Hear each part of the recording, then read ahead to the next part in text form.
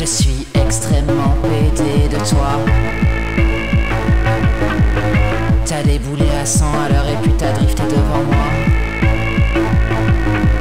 Je suis extrêmement pédé de toi